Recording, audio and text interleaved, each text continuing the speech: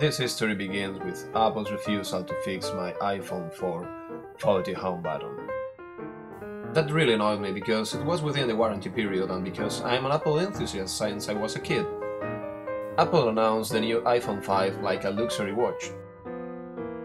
But even when it seems that the new iPhone is easier to repair, but luxury watches are made to last for ages. So why not to make a truly easy to repair phone?